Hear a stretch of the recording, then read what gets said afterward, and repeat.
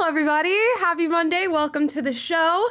Today, we have an interesting subject matter that we're going to be covering. Y'all know I didn't go to college, or at least when I did, I dropped out. but we're re entering the university conversation to talk about all the drama that is unfolding at Harvard and universities alike. But before we get into that, Taylor is in Nashville. Hey, I saw somebody say, Did you free Taylor? Yes, I am free. I was at a wedding on Friday, missed you guys, but glad to be back. Got my little Charlie Brown Christmas tree up, so we're feeling good and Aww. ready for a new week. You were very missed, Taylor. Everybody was in the comments trying to talk to you, asking you questions in the super chat, and you were nowhere to be found. so we're gonna pay you guys back for for your time and the time that you missed of Taylor on this show. Now, let's get into the Harvard University drama. Now, I thought Harvard was dead long long ago. And most recently, when I saw this headline that Harvard University was going to be offering a course called Taylor Swift and Her World, I thought surely this is the death of academia and higher education because be so for real right now. Why are there classes about Taylor Swift in, in college? But no, that's not the reason that we're having this conversation now. Who's under fire in this whole situation is the president of Harvard University, and she goes by the name of Claudine Gay. Now, I had heard her name before, and we'll get into exactly why. Because she, you know, was was an accomplice in committing one of the most heinous acts of academic murder that we've seen on university campuses at Harvard. But we'll get to that true crime story in uh, in a minute. So we're going to talk about how this all started. There are a number of different players in this game, a number of different layers to why Harvard is receiving so much backlash, so much blowback from comments that have been made and from things that have been discovered. But for now, we're going to focus on the president of the university, Claudine Gay. Now, Claudine Gay is a black woman, and the reason I make that apparent to you is because her entire platform is talking about diversity, equity, and inclusion inclusion. And most recently, she's been under fire because of what's been happening in the Middle East between Israel and Palestine. We all know that on the campus of Harvard, tons of students started to gather and protest, mostly in the name of Palestinians. They were chanting things like from uh, the river to the sea and gathering to really show their support for the Palestinian people. Now, many of these students were peaceful protesters who were just stating, you know what, we don't stand by the Israeli government and their actions right now. Others were maybe uh, more violent in their rhetoric and language. Others were supporting Hamas, saying that Hamas were, in fact, freedom fighters, and uh, there were students that were also calling for for further genocide, presumably. So she's really under fire for uh, what they've deemed to be a mishandling of the situation of what's happening on campuses. She's not the only university president that is receiving backlash. It was a, a nationwide thing, as I'm sure we are all aware. But she was brought forward to have a, a hearing where she was questioned by members of Congress on her personal rhetoric, how she feels about students that they deem to be inciting violence or supporting genocide on the campus.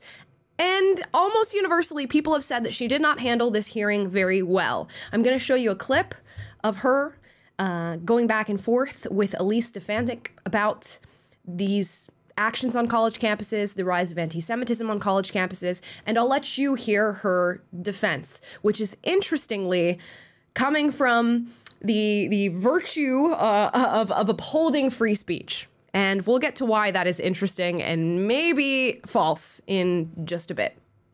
Is not protected free speech at Harvard, correct? Our commitment to it's free a yes speech, or no question. Is that corrected? Is that okay for students to call for the mass murder of African Americans at Harvard? Is that protected free speech? Our commitment to free speech. It's a yes extends. or no question. Let me ask you this. You are president of Harvard, so I assume you're familiar with the term intifada, correct? I've heard that term, yes. And you understand that the use of the term intifada in the context of the Israeli Arab conflict is indeed a call for violent armed resistance against the state of Israel, including violence against civilians and the genocide of Jews. Are you aware of that? That type of hateful speech is personally abhorrent to me. And there have been multiple marches at Harvard with students chanting, quote, there is only one solution, intifada revolution, and, quote, globalize the intifada. Is that correct?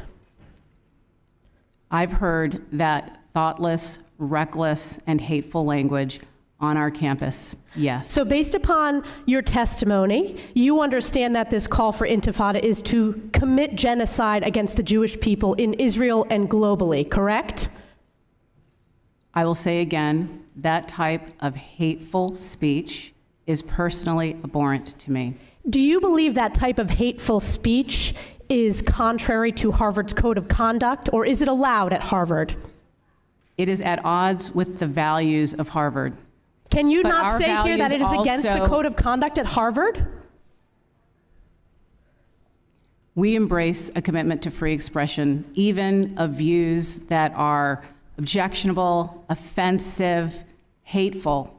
It's when that speech crosses into conduct that violates our policies against bullying, harassment, Does that and speech not cross that barrier? Does Okay, so you get the gist here of essentially what's what's happening. She's going back and forth, trying to justify the fact that you know she's allowing students to say this on campus, and we're going to get into an interesting discussion here because there is a lot to be justified in what she's saying, and we will draw the line and you know give you guys the distinction between speech that is is covered and protected under free speech and speech that isn't. Before that, I believe we got a fifty dollars super chat, which means we have to read those immediately. Taylor, do you have that pulled I up? I do, and it's from our buddy Alex, aka RP Awareness Month. He says, and this is a bit of a left turn from the, the narrative that we're building, but it's fine. We'll take a little intermission. Uh, hey guys, I missed most of Friday's show. I wasn't calling that trad girl a gold digger because she's 100% right. I suggested the gold digger soundbite because of Fresh and Fit. Speaking of Fresh and Fit, no Taylor's fan club. That's not what Fresh and Fit preaches at all. By the way, Taylor has bad pickup lines. Taylor has bad pickup lines. Wait, where did I don't even remember where that conversation came up. I do remember the gold digger, and yes, I agree with you. That woman was not a gold digger. She was totally right in those uh, text messages that we read on Friday's show, and you guys can check that out if you're curious as to the subject matter that we're talking about. But I'm glad that you agree. Alex. Now, okay, let's let's let's draw the distinction here and we'll get back to what we were talking about when it comes to free speech and free speech being protected on college campuses. If you are a college student who is witnessing what's happening right now in the Middle East and you decide I feel like I am more pro-Palestinian in this conflict that I don't agree with what the Israeli government is doing, it should be perfectly fine for you to espouse that on your college campus. It should be perfectly fine for you to say I don't agree with what's going on right now and all of that would be protected under free speech. But if you're moving to statements that are inciting violence, calling for the genocide of a certain group of people, that is not necessarily protected and would be against the code of conduct of a university like Harvard. So it's very important that we draw that distinction. I feel like many are saying, all of the students present at the protest are violating the code of conduct, and I don't believe that to be true. You would have to find direct instances and individual instances of the students who are actually calling for the genocide of Jewish people, which is just insane to say that on this show right now. But you'd have to actually find instances of students saying that, and they should be reprimanded as you know this situation is investigated. The very same thing should happen for students that are calling for the genocide of Palestinians. I want to make that very clear. But if you are a student who says, I support the Israeli government, that is protected under free speech. And this is all with knowing that when you sign up to go to a university or a college, what you are signing up for, or should be signing up for, is your views being challenged. As always, universities, you know, are, are meant to keep you safe physically right, but you're supposed to have your beliefs challenged. You are, yes, going to be uh, offended at some point or another if you are particularly sensitive to certain lines of speech or certain subject matters being talked about. And the very purpose of higher education is so that you can contend with different ideas and go back and forth and have yourself challenged. So I can defend Claudine Gay in that it seems that all of a sudden she cares about free speech, but we are going to talk about her history on the campus that is Harvard University, where she has by no means upheld this sentiment of wanting free speech to be uh, upheld, you know, through throughout the university and on campus. And just to give you a little bit of background here, these campuses get scores as to how well they uphold free speech uh, on on the campus. They go and survey students about this very topic and get feedback from them. I'm going to read you a little bit of the feedback about Harvard University most recently. So, the Foundation for Individual Rights and Expression is responsible, as well as College Pulse, and they release an annual ranking on these uh, campus free speech scores. Harvard is ranked at the lowest score possible, a fat zero. A fat, fat zero is what Harvard gets uh, as a university when it comes to free speech. And I'll give you some more clear numbers here as the students were surveyed on this. It says more than half, 53% of students reported self censoring on campus at least once or twice a month. And 58% said they worried that being misunderstood could lead to reputational damage. So it doesn't seem like the general culture at Harvard is one of, of free speech. And Claudine Gay has messed up in that respect. She's messed up in many others, which we will also detail for you. But it seems like now that she's actually receiving backlash, as this is an issue that we've deemed cannot be ignored, she suddenly cares about the free speech of college students. Now, all this to say, she should have kept that same energy. She should have kept that same sentiment all throughout her professional career at Harvard. And the fact that she didn't, most notably toward, you know, white campus members who are constantly being, you know, called racist and thrown different slurs at them and all this stuff. We've all seen this change on college campuses recently, where if you're going to be racist or derogatory, just make sure that it's pointed towards white people and you will be a-okay for for doing that. So, where was that energy uh, of, you know, talking about free speech and and protecting students and all this all this other stuff when this was all this was all happening. And you know she wouldn't feel the same if if a white student said something about slavery or said something racist to to a black student said something derogatory towards them. That would not be that would not be protected. You would be out of the campus. You would be expelled from the campus if they had any sort of knowledge that this was happening probably even an allegation could get you, uh, you know, reprimanded on this campus. So where was that energy when these things were happening on Harvard, which we all know it was? But suddenly, now that she's the one receiving the backlash, she cares about free speech. Yeah, it's really convenient to start wielding the Constitution whenever your speech is being called into question and whenever your policies are being uh, criticized. Now you get to use that as a shield against the criticism that you're receiving. When all all throughout your tenure, mm-hmm. as first as a, a, dean of DEI or whatever, and when you were establishing that that whole uh, reign of terror for uh, the diversity, equity, inclusion in hiring, and then discriminatory discriminatory uh, admissions practices. In when Harvard is not wanting to let these conservative speakers come to campus and speak freely. Right. Uh, when a Republican wants to maybe be a professor, we we know the statistics on how many Republicans and Democrats are uh, donors are uh, on faculty in universities like this, and it's just very rich to all of a sudden care about the principles in the Constitution of equality and free speech and use that as a shield when you've been blowing right past those uh, throughout the duration of your tenure and using them at, at well, not using them at, right. when, while you're instituting this whole uh, this whole new regime that is completely oriented toward advancing a leftist political orthodoxy and a leftist political agenda at the expense of the university's excellence and at the expense of the equality and fair uh, opportunities for certain students, certain professors, and certain people. So it's just uh, completely ironic. Yeah, you know what should have happened in the wake of all this, which uh, yes is a is a you know massive conflict that I'm sure many have very strong opinions about. Harvard should have platformed discussions between students to actually go back and forth and talk about what's happening and do so in a healthy way.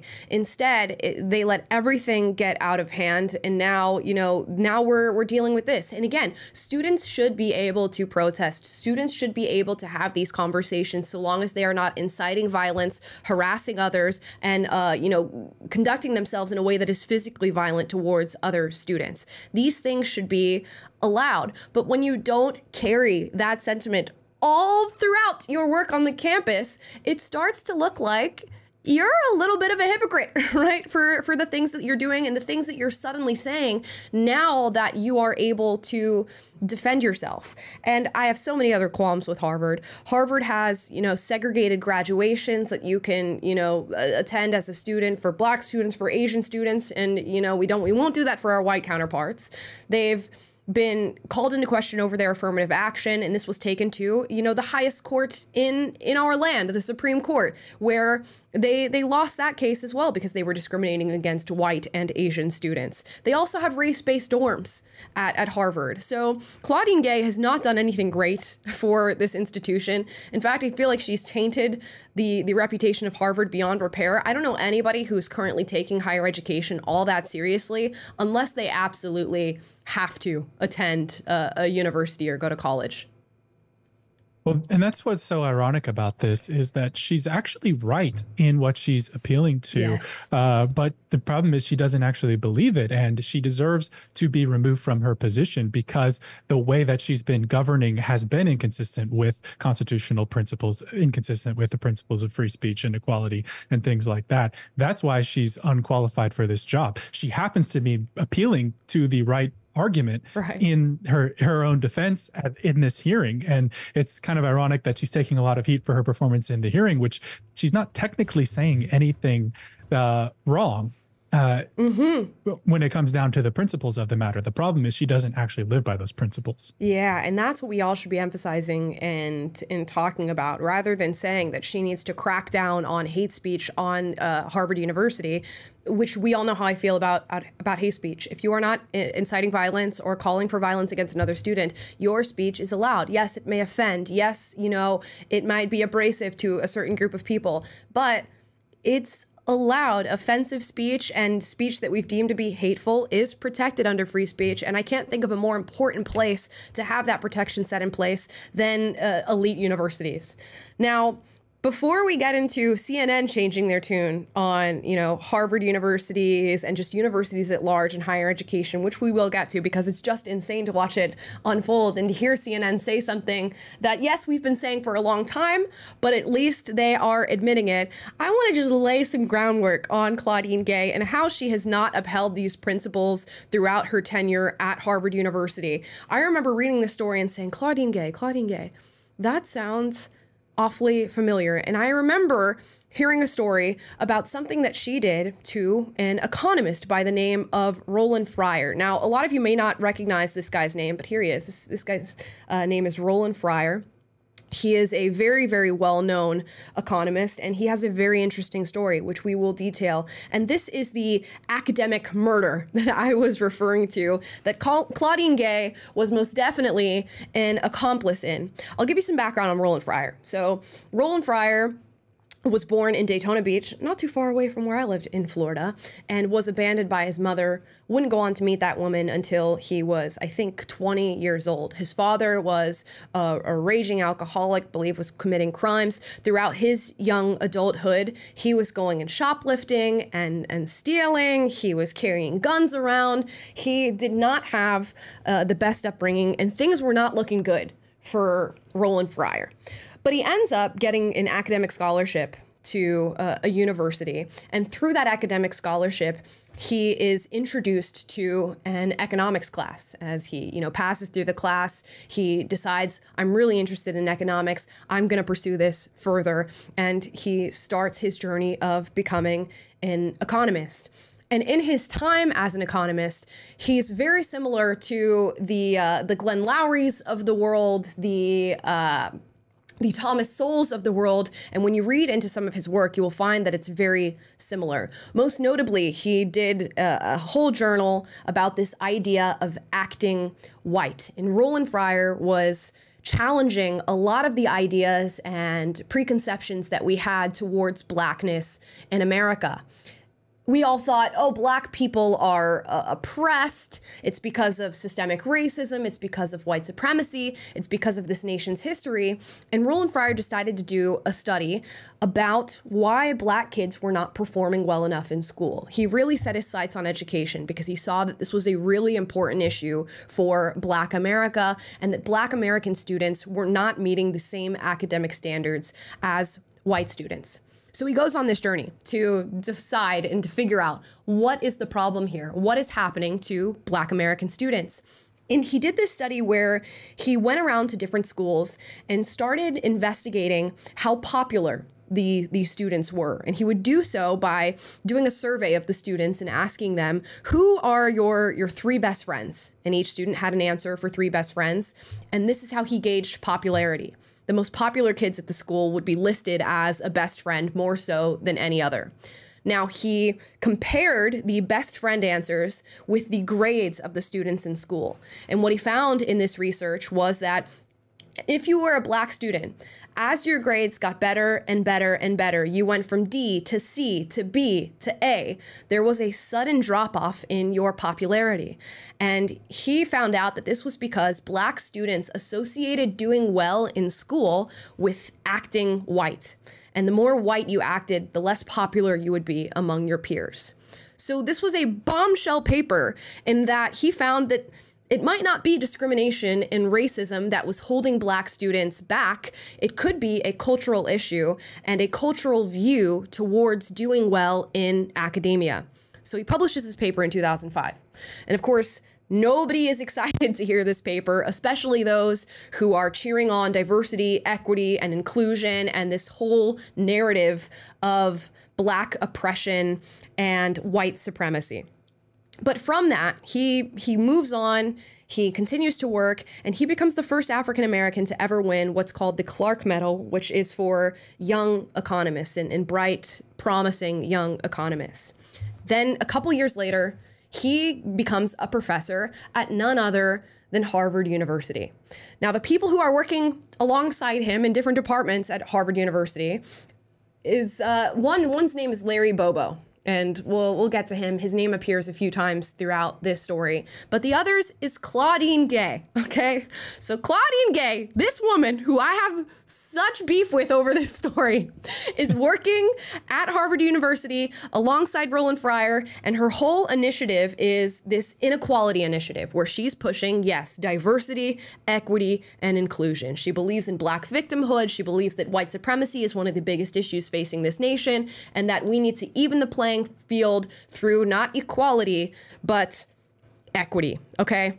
So this is what she's working on. And of course, she does not like Roland Fryer because every bit of research that Roland Fryer doing is doing is flying in the face of her greatest theories about white supremacy and just inequality and inequity. And the same goes for Larry Bobo. Larry Bobo and Claudine Gay are like besties in their in their academic research because all they do is cry about racism, racism, racism, okay?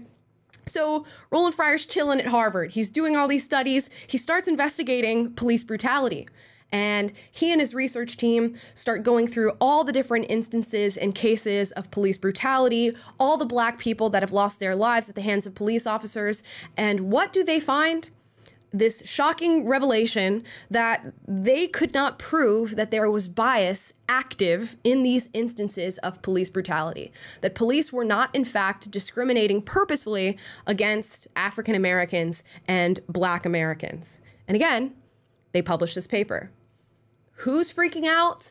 all the leftist academics who are, you know, in all these different universities, Larry Bobo, Claudine Gay, they hate his ass. They don't want to hear anything he has to say, any of the research that's coming out of his lab. And then I feel like this plot starts, right? And obviously, I'm just speculating here. But on the heels of this discovery that Roland Fryer puts out to to the public and to you know this the sphere of higher academia, a an assistant starts making accusations against him. And of course, like they do with a lot of great men, not all of them, right? But those who challenge the system, sexual assault allegations start to rise against Roland Fryer from this one woman in particular. And she says, you know, I've worked with Roland Fryer. He is, you know, sexually flirtatious. She brings about this whole, you know, allegation against him. And come to find out, that many of these allegations don't stick. This woman was actually meant to be fired, right? And they offer her a payment. The university goes, "Okay, we're going to we're going to pay you. We'll get rid of you. Bye, bestie. You know, head out on your way." And she was supposed to get $25,000 more than what she actually was was given by the university. but they cut it by $25,000. So it seems as though this woman has a personal vendetta against Roland Fryer. So she comes out with these with these allegations, and the plot thickens. Okay, 38 allegations are listed uh, from this personal assistant against Roland Fryer. She said these are 38 instances of this man coming at me in a sexual way, being inappropriate. And yes, there were flirtatious messages between Roland Fryer and this woman. She would send pictures to him of her at, at work parties. They would flirt here and there about how, you know, he wants to move to this country and would she come with him and all this different stuff. By no means was it professional conduct. But Never in all of these allegations did Roland Fryer come on to this woman sexually or sexually provoke her in any way. So the 38 claims are, are laid out. Six of them are immediately thrown out and they say these are baseless. There's, there's nothing here. We cannot come after him on that. Then the university starts an investigation against Roland Fryer. So we're down to 32 different claims in this paper. Another 26 are thrown out in the investigation. Many of them they deem to be just outright fabrications that were created uh, from this woman against Roland Fryer, which means six are left behind. And these six are not actual sexual assault allegations. They're not any, uh, you know, any instances where he has sexually provoked her in any way. It's just that he was unprofessional. Okay, so they go through this whole investigation and they say, okay, well, well, six of these things have have stuck. Another woman who used to work with Roland Fryer says that he's he's flirted with her, and they deem that to be inappropriate. So they say we must bring punishment against Roland Fryer. Now, luckily, he was tenured at Harvard University, which means you can't technically fire him. That's just like a special status that you get on university campuses where once you have it, you have that for for life. You technically have a job at the university for life. So they permanently close his lab that was doing all of this research and investigation into police brutality and other race-based issues, working uh, with kids and education and all of the, different clients and, and black students that he had helped. They suspend all the different projects that his research team was working on. And Miss Claudine Gay, Claudine Gay. She raises her hand. She's like, Can I get a special instance where we actually remove tenure from this guy? Because I don't ever want to see him at Harvard University again. Now, luckily, they had principles at the university at the time, and they said, There's no way, never in our history have we removed, you know, tenure from from a professor like this. He's going to keep his tenure. But this woman tried to come after this man, and not because she had anything to really lean on or support herself in the allegations that were laid against him, but simply because his ideology was dissident to hers. And she could not stand that this man and all of his research was like flying in the face of her theories about racism and white supremacy in Black America. And when you look back at the life of Claudine Gay, right? Roland Fryer, we, we mentioned, mother left him when he was a child, didn't get to meet her until he was 20. His father was an alcoholic and a criminal. He ended up being a criminal for much of his young adult life. Claudine Gay was raised by an engineer. So this is like some silver spoon kid, a silver spoon black kid who goes to all these different universities, makes it into Harvard, eventually becomes the dean and now the president. And she's the one who is hell bent on proving this theory of black victimhood in America. So my girl murdered Roland Fryer academically at this campus, and simply because she didn't like what he had to say. And she's done similar things. Taylor was looking up, you know, her some of her record, and the name Ronald Sullivan popped up. And you said that he she was fired or she fired him simply because he decided to defend Harvey Weinstein. Yes, uh, this is the quote that I have. It says, "As dean, when uh, Gay was dean. She showed no respect for basic American legal principles when she fired Harvard Law School professor Ronald Sullivan as residential dean for taking on the legal defense of Harvey Weinstein. So, again, this is an instance of it's one thing to find something distasteful, like certain chance, or someone she's choosing to, a lawyer choosing to defend someone that you have a huge moral problem with. But it's another thing to abandon first principles in order to coerce them or use force against them in some way to get them removed, or like she did with Roland uh, Fryer and yeah. apparently this guy Ronald Sullivan. So she, this girl has a long history of just starting beef with people who she disagrees with and trying to ruin their careers. And it's probably because she is so subscribed to this idea of her own victimhood that she really sees herself as like the freedom fighter at any moment, at any given time when she's doing these things, which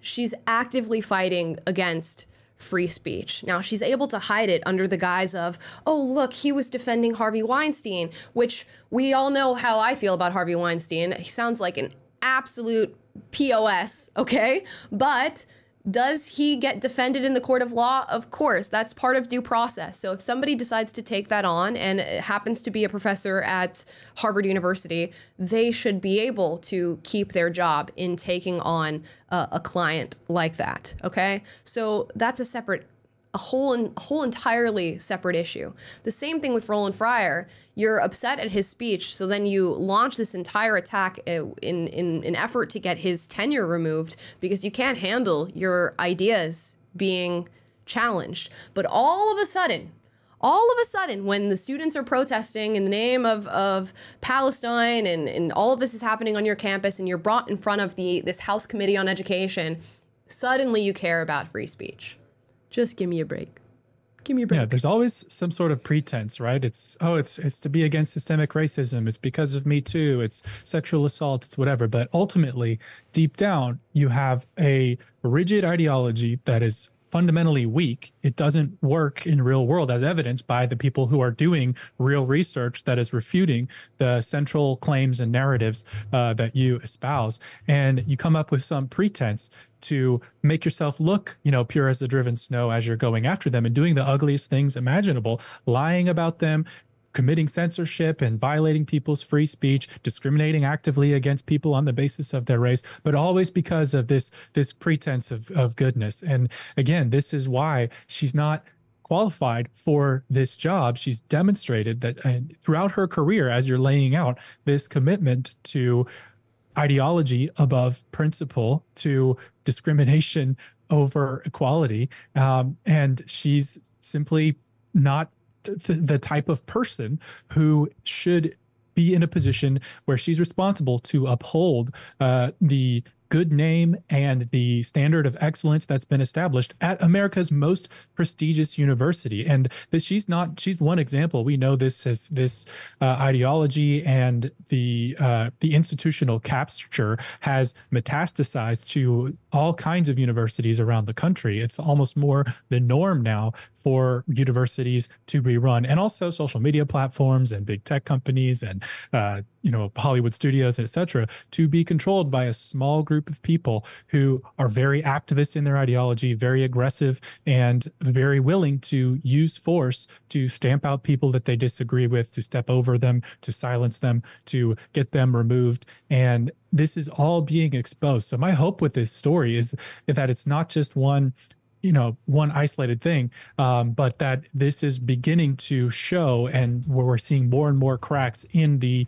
the chokehold that the dei types ha- have had over our institutions for the past several years. Um, yeah so I'll, I'll leave it there for now. Yeah i mean it's it's time that we like we really pull the rug out from under these people and start to expose them in more ways than one. It's one thing to suddenly be talking about free speech when you haven't, you know, been an example of that throughout your entire career. It's another thing to, eh, you know, uh, instate these rules of affirmative action on campus. It's another thing to segregate graduations. It's another thing to segregate dorm rooms. And mind you, like, there is so much money being funneled into a university like Harvard. When you think about these elite institutions, they have something called uh, an endowment, which is just like the money that they have uh, for their, their fiscal year or whatever. The endowment of Harvard is, guys, I, I kid you not, $50.9 billion $50.9 billion funneled into this university. For what? So that they can get a diversity, equity, and inclusion education that features a course on like Taylor Swift and they can mm-hmm. censor free speech and not allow students to actively say what they feel. If you have a $50.9 billion endowment and 53% of your students don't even feel comfortable espousing their opinions, something wrong is happening, and you don't deserve to be where you're at. Now, Claudine Gay is tenured, much like Roland Fryer is at, at, at Harvard. So it's not that she can actually be, you know, fired unless they deem this to be a, a, special instance where they are willing to go that far. It would just be that she's removed from her, her presidential status at the university, which seems deserved at this point. It does seem deserved. Now, uh, oh, real quick, yeah. one other thought on this that I've seen some of you guys in the chat, and we saw uh, the the headline uh, that over 500 or something to the tune of 500 faculty at Harvard uh, signed a letter in support of Claudine. But yes. I saw an interesting thing about that is that the S 500 faculty sign that. That sounds like a big number, but Harvard has something like 2,400 plus professors. So when you do the math on that, it's like what 75, 80% of them uh, did not sign the letter in support of her, which to me speaks to this idea that there's a relatively small group of people uh, that are very radical in their ideas who do occupy a lot of these positions. And you're talking about the the size of the endowment. That's just faculty. You also yeah. have the, bureaucracy, and we know that in a lot of uh, domains, like in healthcare and in academia alike, uh, we've seen the amount of uh, non-teaching sort of roles, non-medical specific roles, but very administrative roles, those have skyrocketed in, in, recent years. And I can't help but imagine that a lot of these hires that are administrative hires, that's all the diversity people are for the most part, is going to be those types of hires. And I wonder how much of that endowment is just you know part of this whole bloated infrastructure that's been being built at Harvard uh, over the last couple decades. Yeah, I mean, we know that the universities are uh, they're scam artists in a lot of different ways, right? Not not just in the the tuition that they're taking from students in order to give them these BS degrees, but also you know how much of that endowment is funded by people who have special interest in what happens on on the university campus. How much of that endowment is enjoyed by somebody like Claudine Gay? We went through the whole scandal of you know all these celebrities and rich parents being out ousted for having paid for their students to get into uh, institutions like that of Harvard. So you know, uh, where's the money moving around? How is this working? And I, I, wonder if those same faculty who signed that letter are going to support her after this other bit of news that we've gotten that I see many of you also discussing in the chat down below. Claudine Gay was recently outed by Christopher Rufo for having plagiarized her her thesis that would end up getting her her PhD. So I'll bring up the tweets here so that you can see exactly what he's found. Uh, so it says exclusive. Real Chris Brunet and I have obtained documentation demonstrating that Harvard President Claudine Gay plagiarized multiple sections of her PhD thesis, violating Harvard's policies on academic integrity. This is a bombshell. Now, if you go through here, he has several instances where which range from minor to major, but all in violation of uh, Harvard's policies, where she directly takes sentences and paragraphs from other people's work in uh, reference for her PhD thesis. And interestingly enough, uh, th- this very first example is her taking multiple sentences directly from the work that of Larry Bobo, her little partner in crime in the academic murder of Roland Fryer. So it's interesting to watch this all play out. But as we scroll through here, it's just example after example after example. She even, uh, you know, copied what seems to be an entire appendix for her PhD thesis from the person responsible for reviewing her, her PhD thesis. So somehow uh, and in some way, this flew under the radar, and Claudine Gay got out of this unscathed, and you know sits as the president of Harvard University now. We shall see what happens. But at the very least, it seems like she needs to be knocked a few tiers down from where she stands now. Yeah, it's one thing, you know, as any average college student will say, you know, it's one thing to be a little bit liberal with the copy and paste when you're doing some papers and right. maybe not putting quotes everywhere you should or using too much text from somebody like that. But when you're the president of Harvard, which again is supposed to be the most prestigious academic institution in the entire country, some might say the world, uh, then we have a little bit of a problem. You should be an example of the standard that you are presiding over, that presumably you are there to establish. So this is just yet another uh, really not a good look for Claudine in this case. Yeah, so hopefully she's held accountable on that front. Now, speaking of accountability, let's listen to this CNN segment uh, where they suddenly talk about what seems to be the downfall of the American university. Now, mind you, we all are familiar with CNN. We've we've seen uh, much of their coverage. We know whose side they stand on on most issues but it seems like at a certain point and we've seen this happen with you know all the different things that we've you know brought out the bullhorn about have been trying to warn people about that once it becomes a comfortable place and once the general consensus among the public is that this is the thing to say it becomes the thing that CNN says right? So as as conservatives are saying it or and we're raising the the red flag saying you know universities are not looking too healthy right now it seems like people are getting discouraged discriminated against. Uh, white students can't express themselves. Conservative students can't express themselves. There seems to be an issue on these campuses. It's silence. It's crickets. It's tomato, tomato, tomato. But now that the general consensus is Claudine Gay has handled this situation incorrectly, handled the, the hearing incorrectly, whether or not you, you believe that or not, CNN decides to air this. Here's my take.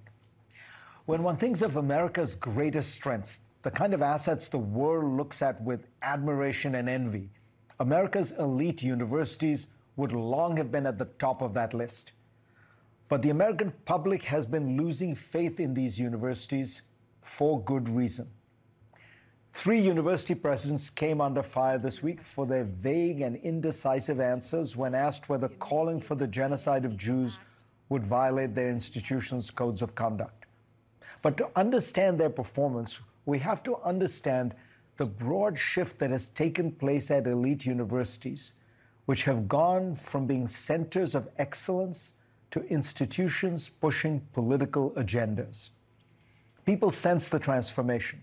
As Paul Tough has pointed out, the share of young adults who said a college degree was very important fell from 74% in 2013 to just 41% in 2019. In 2018, 61% of those polls said higher education was headed in the wrong direction, and only 38% felt it was on the right track. In 2016, 70% of America's high school graduates were headed for college. Now that number is 62%. This souring on higher education makes America an outlier among all advanced nations. American universities have been neglecting a core focus on excellence in order to pursue a variety of agendas, many of them clustered around diversity and inclusion. It started with the best of intentions. Colleges wanted to make sure young people of all backgrounds had access to higher education and felt comfortable on campus. But those good intentions have morphed into a dogmatic ideology and turned these universities into places where the pervasive goals are political and social engineering, not academic merit. It's no wonder that nobody wants to go to college anymore. Uh, when you know the job market is, is, shifting in itself, and there's way more opportunity for those who have never uh, received a, a degree. But also, like, what degree are you receiving? and for for tens of thousands of dollars, if you're getting like this sort of like BS education, why would you go and, and pay that when you can find opportunities elsewhere? And just a bit of pushback in, in that I understand what he's saying that these things started with good intentions. Your intentions do not matter uh, in, in this case, right? It's, it's fine to have good intent in that we want to make a, you know, an, an equitable space for uh, you know all students but the intent of creating an equitable space is an inherently harmful intent and so many people have raised the flag and said you should not be pushing for equity you should be pushing for equality and this is what equality looks like it looks like taking uh, race out of out of applications, taking gender out of applications, allowing people to come forward as who they are without being judged on these just baseless characteristics. That's what equality looks like. But there, this intention of equality is isn't even one of good intent. And even if it was, what matters is your outcome. Your intentions will get you so far and there's a lot to be said for intentions when it comes to things like free speech or what's deemed to be hate speech. But when it comes to education and these universities and their implementation of these ideas, the outcomes is truly what matters. And people have been raising the flag, telling them about these horrible outcomes for I don't know how long. But it took this current conflict in order for people to realize that this has been an issue for a very long time.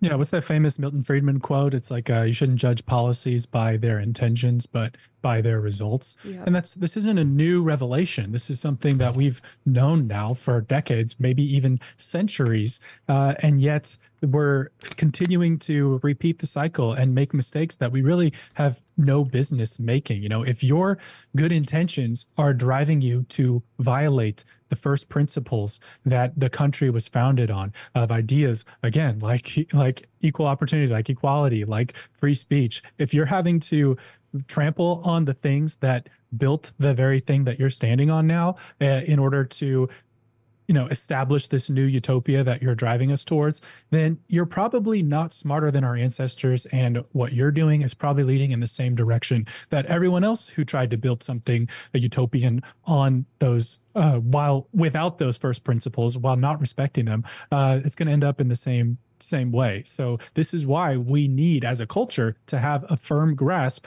of who we are as a culture, of what our principles are and really just a deep appreciation for for our values because when you lose sight of those, you make the same mistakes that you really don't need to make. And that is what's so maddening about this whole thing is that we have seen that. We have seen people who have been principled, you know, we've always talked about that that clip of Dennis Prager on Bill Maher uh, mm-hmm. uh, and you know saying from the get-go that people are are identifying as as or saying that men can menstruate and saying that that's the direction society's head, heading and he was laughed at uh, we've seen now like bari weiss came out uh, also on bill maher and uh, talked about how she's done with covid once it was safe to no longer uh, once it was safe to say so as a liberal. And you know i have no ill will toward liberals who are honestly dealing in facts as they emerge. Um, scott galloway was another example who said he regretted supporting uh, the tightening of covid restrictions and extending the length of time that his child's school was was uh, closed. Yeah but it's it's like we can't keep making these mistakes guys. At some point you have to take inventory of hey, we tried this new idea. Hey, we tried uh, defund the police, and then we had to come out and say this was stupid. Uh, we tried uh, having this. Uh, this approach toward the homelessness policy in California, and we see that it destroyed our city. So maybe we don't need to do this anymore, and we should stick to better ideas and and first principles. Uh, but instead, it seems like we have to keep re- figuring out ways to fail and wait until the damage has already been done. Wait until lives have already been destroyed, the economy's been destroyed. Wait until people's liberties have been trampled on until we actually start to say, oopsies, oops. Yeah. And that it's just such a such a frustrating thing. So here we are again with Fareed Zakaria on CNN saying, well, we guys, we got it breaking news. We got it wrong on the universities. Like, right. oh yeah, that's really breaking. We've all been shouting this for a decade now or decades even. Uh, it's just so frustrating when you have the right answer at the very beginning and all of this could be avoided if you were just a little bit wiser if you just stuck to your principles if you just weren't so ideologically driven and instead we have to suffer the consequences of bad ideas instead of just learning from them and learning from prior generations uh, that have already been down those roads and learned uh, how to adapt and how and what principles to enshrine that prevent us from doing the wrong things that they keep doing. It's so crazy. there's my little rant. And, like, and it is enshrined. It's like if you look at the rules, like under under the headline of free speech, you can just literally like look at the rules. You should have like I don't a rubric that should tell you what it, what people should and should not be able to say or what should be punishable or, or what isn't. And it's just it's very clear and distinct. I don't know like how we we can't agree on this already or, or figure it out. And i have my theories on how. We'll get into that uh, a little bit further into fareed's take on the situation. As the evidence produced for the recent supreme court case on affirmative action showed Universities have systematically downplayed merit based criteria for admissions in favor of racial quotas. Some universities' response to this ruling seems to be that they will go further down this path, eliminating the requirement for any standardized tests like the SAT. That move would allow them to then take students with little reference to objective criteria. Of course, those who would suffer most would be bright students from poor backgrounds who normally use tests like the SAT to demonstrate their qualifications. In the humanities, hiring for new academic positions now appears to center on the race and gender of the applicant, as well as the subject matter, which needs to be about marginalized groups. A white man studying the American presidency does not have a prayer of getting tenure at a major history department in America today. Grade inflation in the humanities is rampant. At Yale, the median grade is now an A. New subjects crop up that are really political agendas, not academic fields. You can now major in diversity, equity, and inclusion at some colleges. The ever growing bureaucracy devoted to diversity, equity, and inclusion naturally recommends that more time and energy be spent on these issues. The most obvious lack of diversity at universities political diversity, which clearly affects their ability to analyze many issues, is never addressed, showing that these goals are not centrally related to achieving or sustaining or building excellence. Out of this culture of diversity has grown the collection of ideas and practices that we have now all heard of safe spaces, trigger warnings, microaggressions.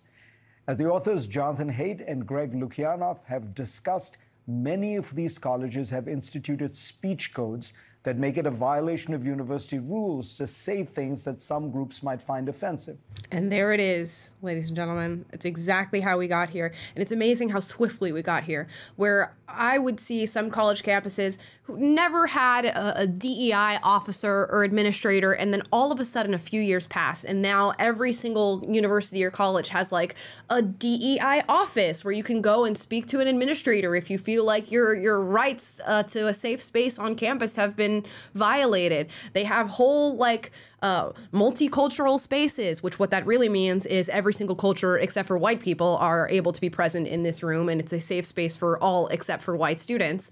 And how quickly this this snowball effect started with diversity equity inclusion being instated on campuses and the reason we are having all these discussions about what students can and cannot say is this is that they've deemed that there should be safe spaces where certain speech is limited or that there is such a thing as hate speech which i vehemently disagree with but here we are now, which is why, you know, Claudine Gay is being brought in front of this committee to talk about all the different protests that are happening on university campuses alongside other uh, presidents at their universities.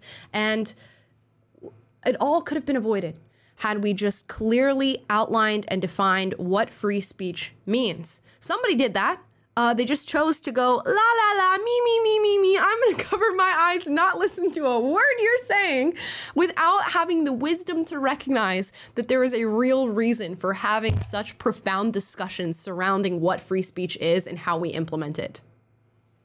And it would be less maddening, right, if we if we could grant that okay maybe they just weren't aware of this. But when claudine gay is brought to account over her behavior, uh, she's able to cite the Constitution and say mm-hmm. that I understand where what these principles are. I understand that speech should be upheld, and and yet they just don't behave like it over and over again. So it's that's that's what's all the more maddening. And I I did express frustration at Fareed, but I am very happy uh, uh, that he is able to articulate this, and he has articulated very powerfully. And I'm glad that he's using his platform to espouse what he has has now realized is right. the right way. And unlike, uh, you know, I saw someone say something to the effect of, you know, Taylor's effectively saying if you had just listened to the right or Republicans or whatever, then none of this would be here. Well, one, Mm-mm. maybe that's pretty true. I'd, I would still stand by that assessment, but that doesn't necessarily mean that that Republicans always get it right, or that people on the right don't ever get dogmatic and rigid with their ideology. And what I've seen a lot of people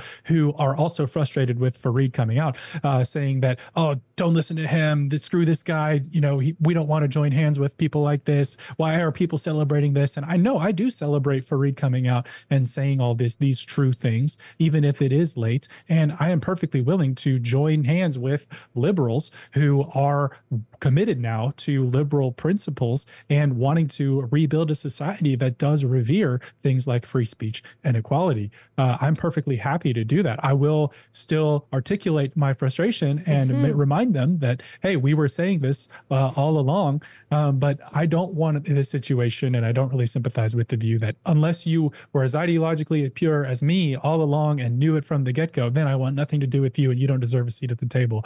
Uh, I think I don't think you can build a healthy society as much as you need good principles and a good moral vision for a healthy society. You also need a redemption redemption. You need forgiveness. You need a path to uh, coexist and collaborate and use speech to uh, find common ground and to negotiate and compromise. And those are things that you have to have in a pluralistic society. And so I don't think it's healthy when the right goes so far and says, well, if you didn't get it right all along, I'll never partner with you. No, right. I, I, that's that's too much. All I'm saying is we need to revere these principles that would have prevented us from going down this route in the first place. But yes, now that we've learned the hard way, let's reaffirm our commitment to them, re-enshrine them, teach them in schools, and uh, in, institute them in all, of all in all of our institutions and make those the basis of our judgments because we know those are tried and true. We know their work, their firm footing on uh, under which we can build something that that lasts and that works for everybody. Yeah, you are always welcome in the Free Speech Club when you get there and when you make the realization that, that, that there is a very important reason why we've decided that free speech is such an important thing in this country. You're always welcome to make that realization. I do hope it is coupled with a little bit of accountability for maybe what you've done to. Uh, to ruin that position in the past and to not stand by that position in the past, which is exactly what we're missing uh, in the case of CNN and in the case of Claudine Gay. A, su- a sudden spark of uh, you know interest and passion for for freedom of speech that is not coupled with any accountability for your prior stances on uh, on freedom of speech. So it's unfortunate, but also welcome to the club, and I'm glad we're seeing something like this on CNN. Universities advise students not to speak, act, even dress in ways that might cause offense to some minority groups. With this culture of virtue signaling growing, the George Floyd protests erupted and many universities latched on and issued statements effectively aligning their institutions with these protests. By my memory, few took such steps even after 9 11 or during the Iraq War. In this context, it is understandable that Jewish groups would wonder why do safe spaces, microaggressions, and hate speech not apply to us? If universities can take positions against free speech to make some groups feel safe, why not us? Having coddled so many student groups for so long, university administrators found themselves squirming, unable to explain why certain groups, Jews, Asians, don't seem to count in these conversations. Having gone so far down the ideological path, these universities and these presidents could not make the case clearly that at the center of a university is the free expression of ideas, and that while harassment and intimidation would not be tolerated, offensive speech would and should be protected. As CNN's Van Jones has eloquently said, the point of college is to keep you physically safe, but intellectually unsafe to force you to confront ideas that you vehemently disagree with. What we saw in the House hearing this week was the inevitable result of decades of the politicization of universities. America's top colleges are no longer seen as bastions of excellence, but partisan outfits, which means they will keep getting buffeted by these political storms as they emerge. They should abandon this long misadventure into politics retrain their gaze on their core strengths, and rebuild their reputations as centers of research and learning. Yep, there you go. And I, I, think that was great. Whoever was responsible for writing that, I don't know if he writes his own stuff. Where I, I, I believe they have a, a, wide swath of, of writers who help them do this. But that was that was fantastic, and I think clearly outlined the situation that we have going on. Mind you, like that baked into the foundation of America is not this idea that we are supposed to protect the majority, which on college campuses would be left leaning uh, views, principles, and ideology. It is to protect the minority. So this is not what's happening in, in, in the case of, of this because you're not allowing the minority to be able to speak freely. Like we said, uh, microaggressions and hate speech, all these things that I disagree with, uh, you know, uh, fundamentally, are totally okay when used against white students, when used against Jewish students, which, which when used against anybody who is deemed to be, you know, the oppressor in the case in in whatever situation you're analyzing. Never okay in in the other direction. So that's an interesting thing. And what I posit is the solution to this is to just allow everybody to say what they're thinking and feeling so long as they are not inciting violence or calling for violence against uh, another group of students or any particular student seems like a pretty easy solution. Yeah, uh, it does. It does. Uh, how close do you think we are, Amala, to this being an actual breakthrough when it comes to America's universities. You know, in, in my mind, for whatever reason, today is kind of going back to the day that Elon Musk bought Twitter, and and that was to me a real breakthrough because until that point, all of these major big tech owned institutions, all the social platforms were uh, a single hegemony that was in in colluding with the government and they they had one way that you were allowed to talk one set of facts that was the facts and then anything that deviated from around that could be censored etc and it seems like in the university sphere if you have an institution as big and prestigious and historically significant as harvard that all of a sudden could uh, repudiate and renounce this woke ideology and say, well, we're not going to allow our top leadership to institute this stuff anymore. We're not going to have it in our university. Like, what a breakthrough that would be. Yeah. And that would really represent to me, you know, a crack and a broken chain link in the chain that is keeping the, our entire university system uh, under, you know, restricted under this this uh, the governance of this woke ideology. So, we're, uh, to me, this this just feels like we're so close to to some kind of breakthrough, similar to what happened with with Elon Musk and Twitter. Uh, but it's also still feels so far away.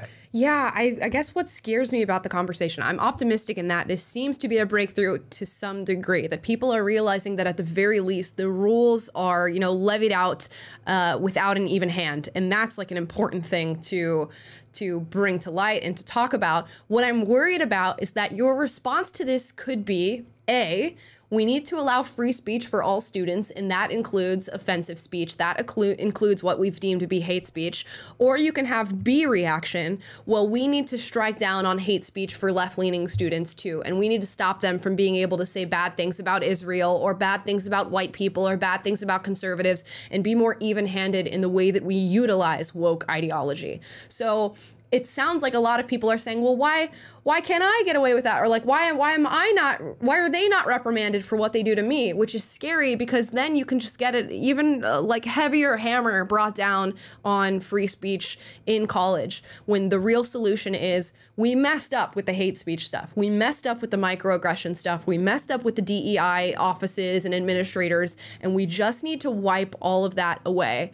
I'm reminded of Yuri Bezmenov, who I cite a lot on this show, uh, was uh, used to work for the KGB in, in Russia, defected from the KGB, and realized that what they were doing was just completely subverting an entire, you know, country and, and generations at a time. And he his theory is that in order to get rid of the societal rot that you're witnessing right now, it takes an entire generation. So I don't yeah. know. It could be like this is a small step in the realization and we build from here and we move on and generationally this gets better. But I don't see this as like a full force change on behalf of the universities.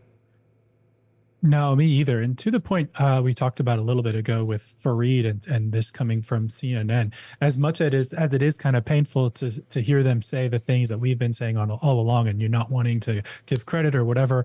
The reality is that I think the people in the middle and the people who are maybe you know classical liberals uh, mm-hmm. people that are in a lot of these mainstream journalist institutions and mainstream celebrities and whatever it may be people that hold a lot of influence in the culture they're the the people that need to be swayed that are yeah. actually going to affect change because it's been their complicity it's been their silence that has enabled these very woke activists uh, to occupy all these institutions uh, uh, and all these positions of power within the culture. But if if you lose CNN and if you start losing the New York Times, if you start losing like mainstream celebrities and people like that, then we're talking about you don't you're the, the whole thing's going to collapse like a house of cards when you don't have the the support uh, uh by that is baked in the, you know they talk about the silence is violence like yeah. it, it, almost you can see that where that reasoning comes from because by not saying anything you are enabling these radical activists to control literally the entire country and to subvert all of western civilization to subvert the entire country uh, but that's where this opportunity uh, lies and why it's a little bit encouraging to see this, even though it does make you wince a little bit, is because, hey, if we can get we're, we're so close. Every time somebody wakes up and sees the truth and is willing to say it we're that much closer to no longer being living in a world that's dominated by lies and coercion but living in a world that's uh, full of free speech and truth. Yeah it's just the it's interesting because it sounds sort of uh, leftist in the way that we're talking, but it's like there's there's a deep concentration of power in and bureaucracy within these universities, and if you flip that on its head, things would change immediately. Why are we empowering faculty to you know come down on students and come down on their free speech instead of empowering students to be able to you know point out when a professor is allowing uh, is making people self censor or looking for a, a certain uh, a, a, certain thesis when it comes to these these students writing, which is essentially what they're doing. If you don't agree and toe the line of whatever your professor's ideology is or whatever the the ideology is of the university, you're not going to do well in school. And it's interesting that during Fareed's talk, he spoke about like the the average in one of their humanity courses is a B or something like that, or, or, was an A maybe a B or an A. I forget what he said. But at Yale University, what do you mean? what do you mean that's the average? And it's because students are learning. I just have to say what I have to say and write that on paper and turn it in, and that's how I'll get to the other end of this. So it's going to take a lot to upend a system that that works like that that has so much money behind it. Fifty point nine billion dollars is insane. And I think people are more concerned about having their status at Harvard than they are about the actual quality of the education that they're receiving at Harvard. If 53% of your students are saying they feel the need to self censor, where are those students when it's time to speak up? They can't. And uh, I'm, I'm, sure they're getting reprimanded or they're scared of, of losing their status on the college campus. And they want to have a life that says I went to Harvard, not a life that says I went to Harvard and I actually received a quality education. So that's where we're at now, guys. Yeah. yeah. And it's like the old adage, you know, you can gain the whole world and lose your soul. And like, I don't want to cast any judgment on people who are in Harvard or anything. Like, you know, my brother in law went there and it, it's a great institution that that's very storied. And I'm sure there's ways to navigate your way through it while retaining your principles. But also, it's kind of like we talked about with uh, the in female sports and, and Riley Gaines encouraging uh, women to boycott events where transgender athletes are being allowed to uh, to compete. It's like we're in a time where you're going to have to choose between your principles and whether you want to be somebody who's fighting for principles, even if that means an expense to your career, an yep. expense to your status, and an expense to what your your achievements on paper, so to speak, uh, versus really sticking to your values and advancing them. And that's not fair that life deals you that hand. Uh, I'm reminded of in in Lord of the Rings, of course. Um, when Frodo is talking to Gandalf. Frodo's the ring bearer, and he didn't want the ring to pass it to him, but it's now his responsibility to basically save the whole world. And he's like, I hmm. wish the ring had never come to me. I wish none of this had happened. And Gandalf says, So do all who live to see such times. But that's not for them to decide. All that we can do is decide what to do with the time that's given to us. And when you find yourself in a position where you have to, it's not fair that you have to be the one fighting for principles instead of just worrying about your own life and your own right. achievement. But uh, that's not for you to decide. Sometimes life deals you a hand where you need to take a principled stance. And my hope is, you know, our way out of this is for people like Fareed and others to just remember what truth is what what truth is like what the mm-hmm. what uh, equality is all about what uh, you know fairness and justice and all these things really are outside of this new ideology that's trying to subvert everything and twist everything into knots. And it's really just going back to our roots and, and living out the principles that we all know and love and that are part of part and parcel of of the culture that we've built and and live in and, and enjoy. And i really hope that uh that we are heading back in that direction and that we'll experience an, an, awakening similar to what we did during the civil rights movement that we appealed back to those first principles. And that's what was our guide out of the the bad ideas that we found ourselves in. So yep stand on your principles y'all. Stand on your principles. Yep. stand on business. On business. Stand on business. Uh, and we're gonna get into super chats on that note. Big shout out to Christopher Rufo for dropping yeah. the info on uh, Claudine Gay and the plagiarism that was happening at Harvard University. Shout out to Good Kid Productions, which I recommend you guys check out their documentary that they did about Roland Fryer and his academic murder on Harvard University. And uh, that's titled Harvard Harvard Canceled Its Best Black Professor Why. And it's a mini doc. It's only about like 24 minutes. Um, if you are at all interested in that story and about Roland Fryer's come come up and semi downfall, you guys can check that out. Also, I think he did a recent interview with Coleman Hughes, uh, which oh, which is very cool. So he is he's he's still around. He's still kicking. I say R.I.P. Roland, but he's still there. R.I.P. Roland. No, honestly, but that's what I'm talking about. Like his, he sacrificed his career, so to speak, or I mean, I guess it wasn't really chosen, but Right. he lost his career, but it was for for a, a just cause, and I think it his his work shines all the brighter because of it, and he'll have a more enduring legacy than he would have if he had just towed the line. Yep. Whenever somebody doesn't do anything wrong and they get in trouble, Taylor and I always go, "Free my man Roland. He ain't do shit. he ain't do shit." 100. percent So, uh, free my man Roland. He ain't do shit. And with that, we'll get into your super chats for the day. Yeah, let's do it. Celtic Blacksmith was our first. He says, "Hey Taylor, how was Agent Taylor? How was Friday's secret political assassination? I mean, how was the quote unquote wedding? Wink, wink. Wow, you got some some fan. Did the Taylor fan club have fanfic now? I guess. Yeah, we got some conspiracy theories happening in the chat. Yeah, no, everybody missed you. Yeah, I wish it was something that cool. I mean, it was it was a nice, beautiful wedding. It was my wife's uh, childhood best friend down in Georgia. So, um, or at least that's what I want you to think.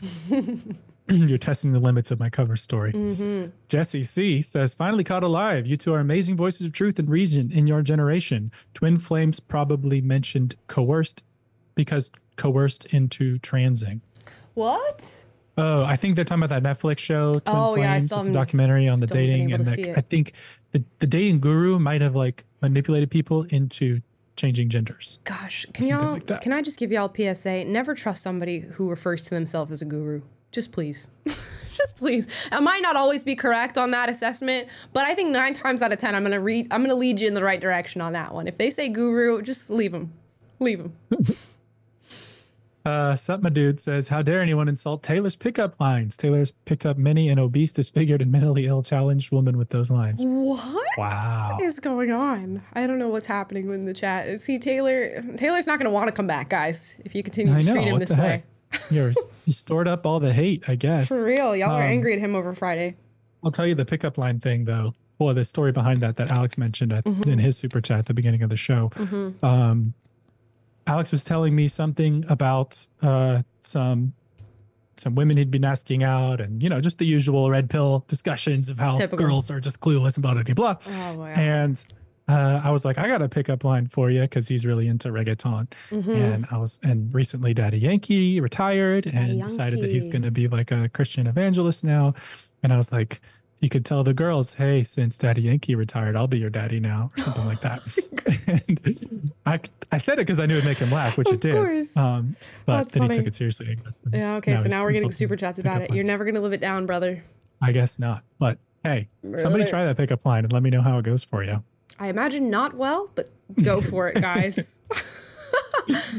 Uh, RP Awareness again says, I had to send that early super chat because I didn't get to justify what I said on Friday. By the way, Friday was a great show, 10 out of 10. Change your name to Amala Fresh and Fit. oh gosh, thank you. I'm glad that you enjoyed uh, Friday's show. I'm not ever trying to uh, be a fresh and fit type of podcaster, so I don't know if that's actually a, com- compliment, but I'll take it. Uh, Makeup HOR3 says, uh, Hi, Amala and Taylor. Glad I could catch this live. Sorry for misspelling your name last time. LOL. Much love from from Ravenna, Italy. Ciao, belli. No worries. Happens all the time. We appreciate you being here for this live. This one was a different one. It was kind of like a deep dive investigation live. Let me know how you guys feel about these. I'm always interested in doing these, although they are kind of hard to pull off when we go when we post a video every single day. It's kind of hard to do these deeper investigations into things, but uh, let us know if you liked it.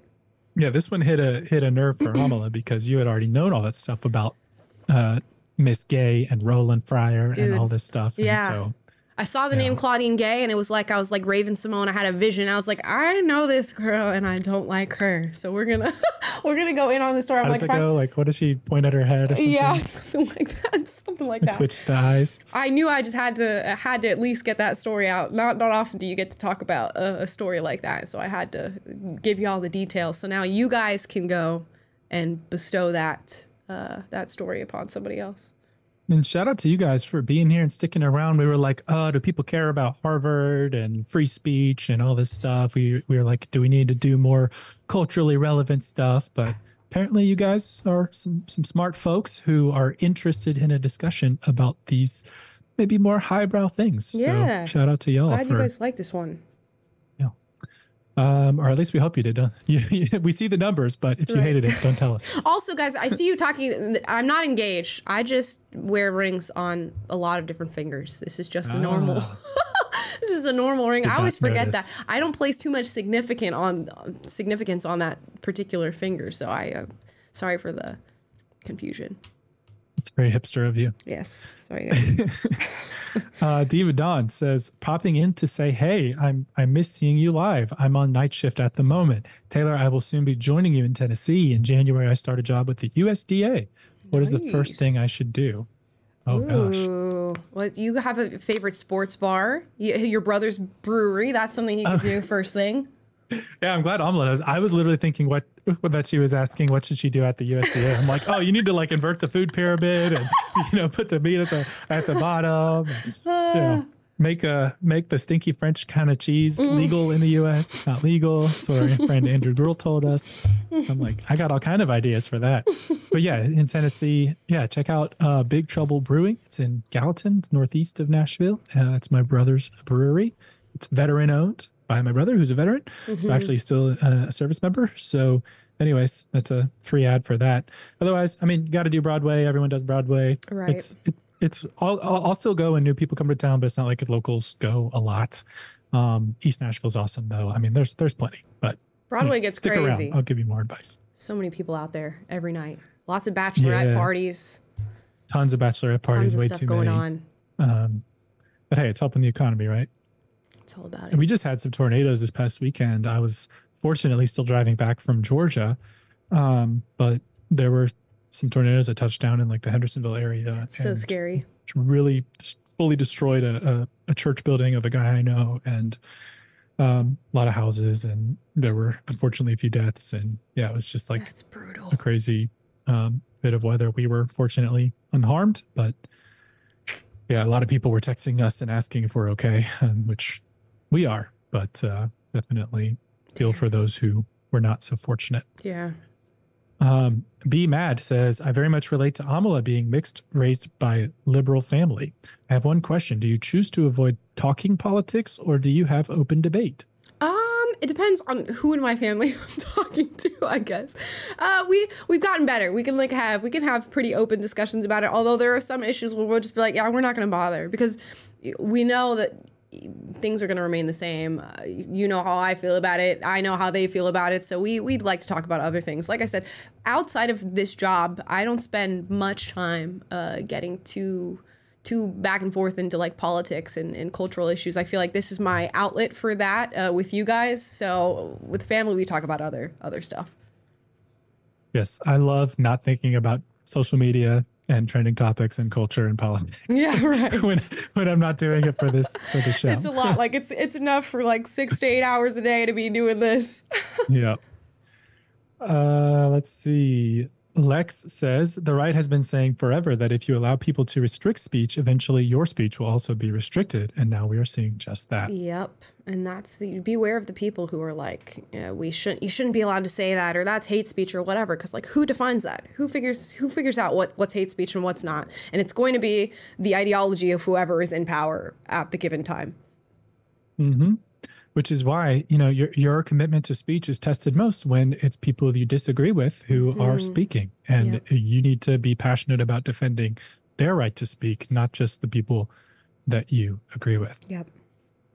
Uh, RP Awareness again says, Amala, what were you doing this past weekend getting fresh ink late at night? Oh, yeah. I Oh yeah, Instagram. I was at Were a. you just like YOLO? Do y'all still work out, get in shape, kings? Okay, Uh, so that's you first. It's a lot of different questions. Okay, I was at a super awesome Christmas party uh, that had like a ton of different things going on. It was like this Japanese themed Christmas party that had all these different elements, like an escape room and tattoo artists and stuff like that. And I was like, okay, I'm gonna. This is like a once in a lifetime thing. I'm gonna get a tattoo at this party. It's kind of covered in uh, tattoo skin right now, but they had flash at this uh, that you could like look through and pick your pick your different tattoos or whatever. And I really liked this little snake one. So your girl has a tattoo on. Uh, I'll be able to take that tattoo skin off in like a day. Uh, but yeah, I was the last one to get it. And I got it at like 2 a.m. and it was such a fun party because we were expecting like, oh, maybe maybe the tattoo section of the party is not going to be that that banging like people aren't going to want to do it or whatever but the list of people who wanted to get tattooed was just insane and the artists were incredible and so nice and yeah it was just it's a once in a lifetime type thing so I got it done How spontaneous of you. That's Yeah. crazy. Wow. y'all know i'm no stranger to having tattoos so it's like it, it was it's like, it's like nothing i don't view it in like the highest regard of like you know but i know some people feel some type of way about it i saw i got so many instagram dms like are you turning back into a leftist you're getting tattoos or Oh. whatever like or this is like anti-religious or something i don't know but it's fine y'all y'all at least y'all didn't get tattooed i got it it's okay it's gonna be fine. You know, the, the closest I got, we were in Norway and we walked by a, a tattoo place. And I was with my, I took like a pilgrimage there a couple of years ago because my Mm-hmm. last name is a little village in Norway. And we were in a town nearby there. And uh, anyway, I was like, dude, what if we got like tats to commemorate this trip? Like, you know, by like a little Viking ship or something. It would have been so badass. But alas, I don't remember if it was closed or if we just like were like, nah, let's not. But I kind of regret it now. Yeah. I of want to do a whole nother trip. That's how do that. I view it. I'm just like, okay, it, it lives in the moment that you got it. Of course, it lives beyond that moment because it's permanent or whatever. But it's just like, Yeah. oh, it's it's like a little snapshot that you have that is, you know, just a, a cool memory or whatever. So, love that. no judgment here. Um, MS says Swift flatbed flatbed trucker here finally caught live. Love you guys' work following since PragerU days. Please do a trucking vid uh, on drivers today versus then. Huh. I don't even know what the what all the different ins and outs of that would be. That's honestly an industry that I know nothing about. Other than that, it's the backbone of America. That's what everybody says about trucking. That's all. Isn't it like one of the all I know. most like most prevalent jobs in the US? I think so. Truck driving. It'd be interesting to do like a vlog and like do a day in the life with a trucker. Yeah, or like uh, like what if all trucks in America stopped running? Like how would that affect the United States? Mm-hmm. I imagine it would be just insane. Yeah, I mean, didn't we kind of see that with the the boycott they did in Canada? They that was kind of part of the point they were trying to prove. Yeah. But yeah, salt of the earth. My um, I step on what is what is an uncle that's like. My, my aunt was divorced and remarried. What does that make him? Oh Step uncle? gosh, I don't know what that is. Uncle-in-law. anyway, I guess he's just my uncle, but Yeah. he uh, he's a truck driver. So, and my my aunt used to drive the like oversized small pickup trucks in front of like the oversized big trucks. So, Ah, gotcha. anyways, salt of the earth. That's America for you. I That love seems it. like a hard career. Thank you. Not gonna lie. Yeah, no, no kidding. no sure you. Mm-hmm. see a lot though. It's interesting. There's a there's a really popular like old guy who's a trucker uh, and he makes TikToks. Have you seen him? And he just like this southern dude, really thick accent, but like old and just kind of like interacts with Gen Z and they ask him all these questions about his job and he just like shows him stuff and gives him life advice. It's like super wholesome. Yeah. Um, as much as I don't like TikTok TikTok, I love TikTok. There's like such a variety of like individuals that you would just never expect to be on there. Who you just learn you learn a lot for real. I Yeah, mean, yeah, you can. despite You the brain rot. Yeah. melt your brain. But right. yeah. Exactly. Uh, Charles says this. Here's ten dollars to go towards Taylor's webcam fund. Here's hoping that one day his image will be as crisp and beautiful as yours, Amala.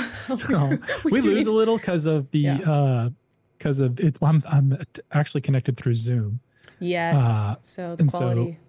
and there's a variety of factors too. Like the resolution has to go through my camera to the capture device here, then through the internet, and then through the streaming platform. So there's a lot of ways it can go wrong, and unfortunately, it just it's not going to look as good as as Amala's. I think there's maybe ways we can make marginal improvements. But we will put that ten dollars towards those marginal um, yes. improvements. So, but I I apologize for my graininess. I've seen a lot of your uh, your comments about that, but alas, we're, Mm-hmm. We're a two person team. We're doing what we can, guys. we are independent. We're trying. You may see me in more clarity because I will be in person in Los Angeles this week. If we can figure out a little corner of the studio Yeah. for me to have a little camera shot in, it's a pretty small space. There is there, like so. a two foot by two foot corner that's right over here that Taylor may or may not be able to squeeze into, and that is just about the only room he has. So we're gonna So we'll try see. to have Taylor on the show in person, uh, and uh, we'll, we're gonna figure So it out. please become a patron so we can afford a larger space to have go. guests and uh, have an extra spot for when producers come to town. yeah, Patreon's down below, guys. In addition to not getting ad reads. That is Um, true. But before I tell you about that, let me tell you about Helix Sleep. uh, just kidding. Mustika BM says, Hi from Finland. I've been following you for some time now, and even though I may sometimes disagree, I still keep coming back and enjoy the show very much. Yay! Love that. We love we love our Finns who who watch the show. We love you guys. Thank you so much. Love the Finns, and we're glad that you don't always agree. That's a healthy sign. That's the standard. Don't always agree with me, guys. Yeah, it's weird if Unless you, just so agree. happen to, you know? Uh, Giannini says, Hello, Amala. Finally watching you live. Hello from the Philippines. Wow. Finland, Philippines. It's like. Italy. sides of the world. yeah, we've had all over Yeah. the place. Love it. Thank you for watching. Les Pavlov Dog says, Do you know the journalist Jesse Singal? He's part of the anti woke left and gets constantly dogpiled for his well researched articles on issues with youth gender transition. He's a really nice and sincere guy. No, I'll have to look him up. I'm always interested in him. I've in seen him on Twitter a lot. Okay, maybe I, I I'm a good follow. maybe if I saw his handle, I would recognize it. But yeah, we appreciate voices like that. We really do. uh, for really sure. do. Hiccups. Dawn Demanda says, Did you know Daily Wire Plus reported today that Gay is under fire for plagiarism? She's a serious problem. Harvard is no longer a serious school. Yeah, we were Maybe that was before you that. talked to, talked about that on yeah, the show today. Yeah, yeah, with Chris Rufo, he's the one who and and what what was his other the other guy's name? Sorry, I didn't mention his partner somewhere in here. Uh, Chris Brunet. So yeah, so shout out to them for finding that stuff. You have to read through that woman's thesis, which I imagine was just ugh, difficult. Labor some of these people do. Yeah, Uh, you a real one. The real Julia one. Prezzo says Merriam-Webster, uprising, comma rebellion, Arabic intifada, literally the act of shaking off. We have to be careful in what is defined as inciting violence. Isn't all clear to me this was. I completely agree with you. That's why I don't agree that the, you you should be able to reprimand students for saying things like "from the river to the sea" and, and things like that, because that is not inherently a, a call for genocide. Unless a student says, "I want to kill blank group of people" or genocide group of people, you have to have very distinct proof of there being uh, something like that said. And from the river to the sea is not a distinctly genocidal term to say. Uh, neither is is what you've just defined. So it's very difficult, which is why you should just allow free speech for all. Yes. Uh, Heather Mac Donald had a good definition on her city journal articles. She said speech should be protected unless it crosses the line into direct threats to individuals or incitement to imminent violence. And I think those qualifiers are important because even, you know, hate speech calls to genocide, etc., as long as they're not necessarily imminent or direct threats, like that's still, Still protected, under the. First Amendment. Yep. Um, and if you're, I'd rather have university policies be be uh, modeled after the First Amendment protections than some arbitrary code of conduct that becomes highly subjective. And then, oh, if we suddenly decide this is bullying, well, misgendering is bullying as well. And now we're just into again selectively um, censoring people uh, for on ideological bases. So. Hundred percent. No, but that doesn't mean you agree with speech. And I also think, like, I mean, not to go back into this, but there is a place as a leader in an institution for providing moral clarity, for uh, condemning certain statements, or you know, elaborating on, hey, if you if this is what you mean when you say this, then I condemn that. You know, but that's different from saying you're not allowed to speak, and Yep. that should always be the very very last uh, resort. Yep. Mo. Okay, High Q says without liberals, leftists would not exist. That's just quoting that. I know you like to differentiate between the two, but I'm sorry, you liberals must take responsibility for creating this culture. Mm, I don't know. It's it's arguable. There's a lot of things you could argue in that. You could argue that like leftists are just uh, the the pendulum swing from conservatives. So without conservatives, leftists wouldn't exist. There's like a ton of ton of things you could say there, uh, which. Uh, to me, it seems like in large part leftism is the complete abandonment of liberal principles. So it's hard as a hard argument to to substantiate in my in my opinion and, and that's why i think there should be a clear distinction because you know uh, a lot of the people who are echoing echoing the sentiments that we've shared on this show are classic liberals. And we invite them and would like they're welcome to be a part of whatever club it is that we're we're in right now because uh, that that sort of shared uh, principle is really important. And it's going to take a coalition of people who you may not agree with on all the finer points. yeah. It's going to take a coalition of them to, r- you know, wrest the control of society back from the radical uh, leftist types. Mm-hmm. Uh, Kate Svensson says the Jewish students should demand refunds on their tuition since they are currently unable to receive the education they've paid for. Yeah, I don't know how this is working in terms of how classes are running and things like that. I mean, uh, I, I'm not sure if if it's hindering their classes and you know they're not being able to go to school, then I would imagine that would be affecting more than just Jewish students, and that would be a reimbursement on the case of anybody who's missing a class. I don't think there should be distinct protections because a Jewish student is uncomfortable with Palestinian protests happening on campus, and that they deserve a reimbursement for for that. Just in the same way that you know, if there was any other protest that was occurring uh, against any other group or ideology, I don't think those students deserve reimbursement. So it's just all about the finer details. If they're missing classes, then yeah, uh, pay them back. And one more on similar lines. Julia Prezzo says, You don't see an answer to this to be the addition of Jewish students to the DEI protections rather than an overall lessening slash correction of the kind of, of quote unquote protections that limit speech, do you? Yeah, that's exactly the way I view it. I think what you should do is say that we were wrong fundamentally with DEI in the first place, and that and that should have never happened because now you're in this game of, you know, white students raising their hand and saying, "Why is it that I get in trouble for a microaggression, but they're not in trouble when they use a microaggression against me? What about when they call me a white supremacist or a whitey or whatever you know ism or slur people are using right now?"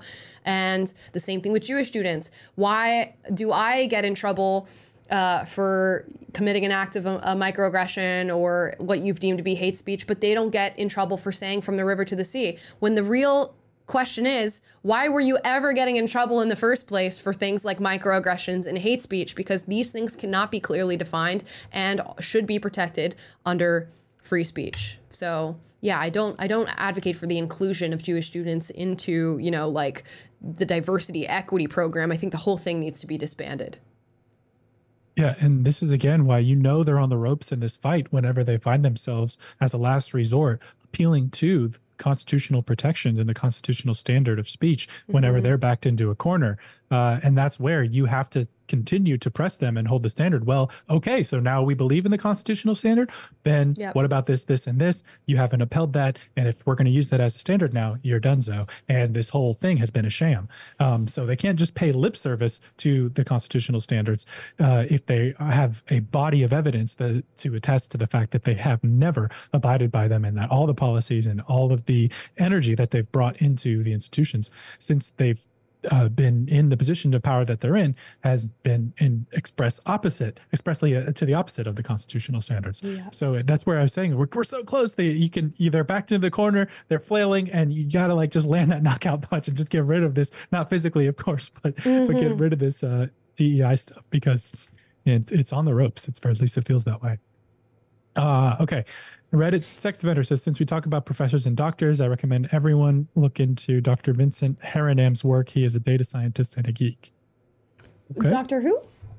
Haran Harinams? Huh. Vincent Harinams. Okay.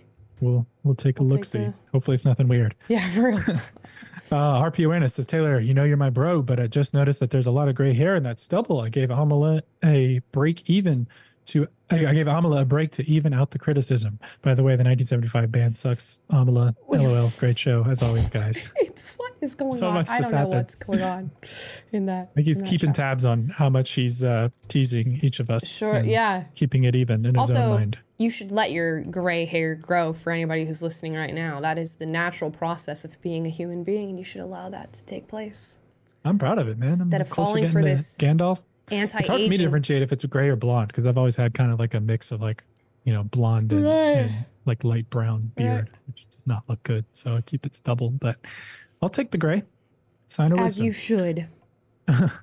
Caitlin Buttonart says, I went straight into full time work after graduating and worked my way up. I have now bought a house and a car at 22. College Ooh. is not always needed to succeed. Girl, congratulations. Round of applause for that. That's dope. What the heck, 22? Well That's amazing.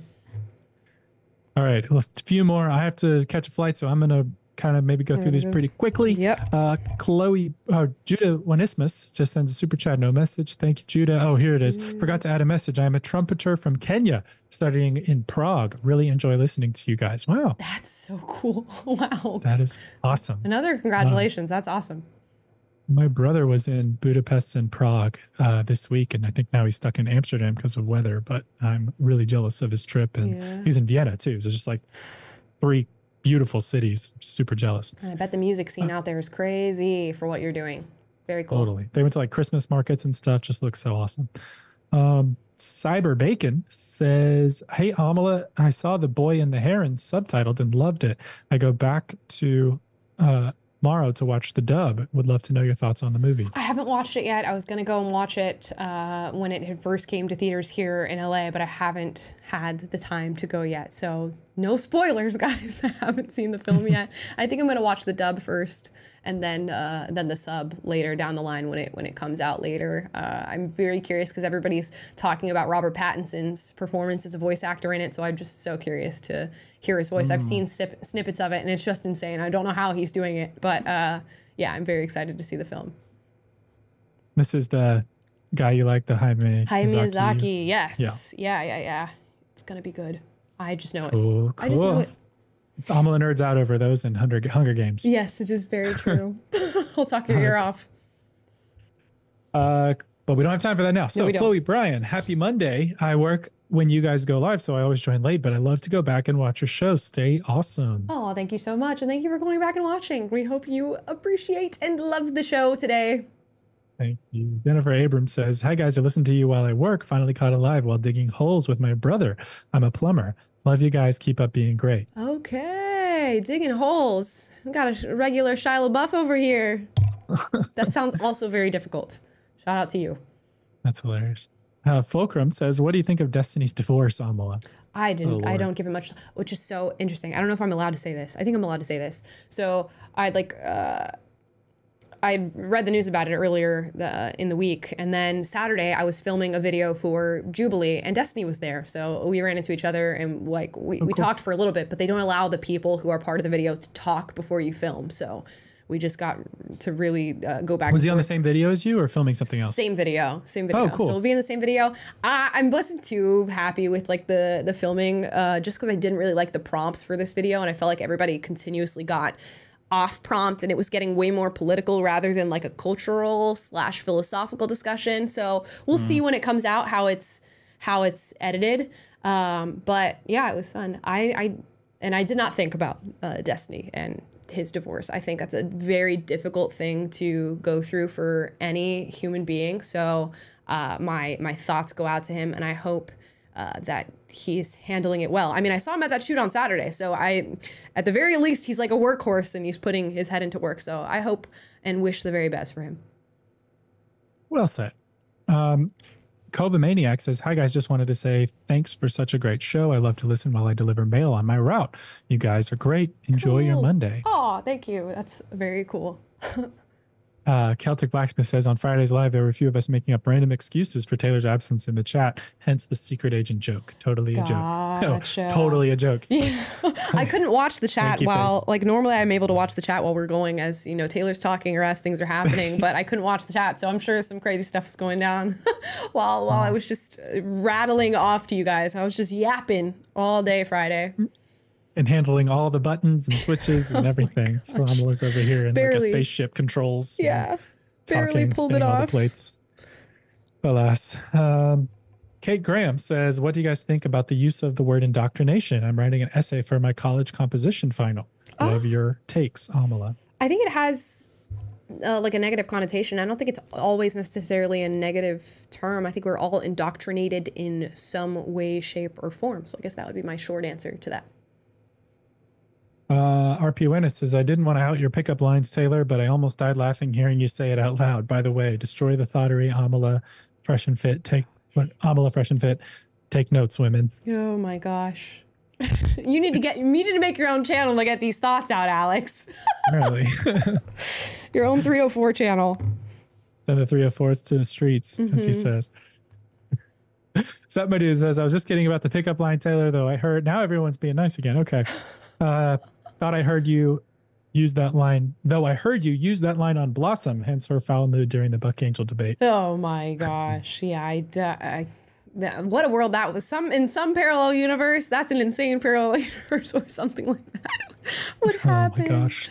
Ah. What a what a crazy day that was, man. Yes, it was. The the looks that we got from the our our fellow staff members uh, as we Yeah. walked through the building into the studio. it was a fascinating day indeed. Oh lordy. Uh, Jesse C says, "P.S. Coming to you from British Columbia, Canada, and poutine is delicious. I want one now. Also, wish the conservative gays had been more eloquent and gifted debaters. I guess that was in reference to our one of our prior episodes. episode? on- Yeah, I don't remember which episode that. I think it was like conservative versus liberal Oh gays. yes, reaction. that one, the the one that was mainly about religion and stuff, which you should have been there for because oh my gosh, was that a religious episode? Um, uh, what was I saying? Poutine. The only thing I'm worried about is texture, y'all. So, it look, it's giving soggy, uh, and I don't know if I can handle that. Which they girl. claim it doesn't happen, but Right. I mean, they keep it crispy, so I believe it. I believe it. If it's more like cheese curds than cheese, then maybe that's more like you know solid and not all melty and gooey. But I hate the Anyway. sog so much. I'll literally order burgers with the bun on the side so that the bun does not get soggy somewhere in between the burger being made and handed to me. I can't deal Okay. with. Well.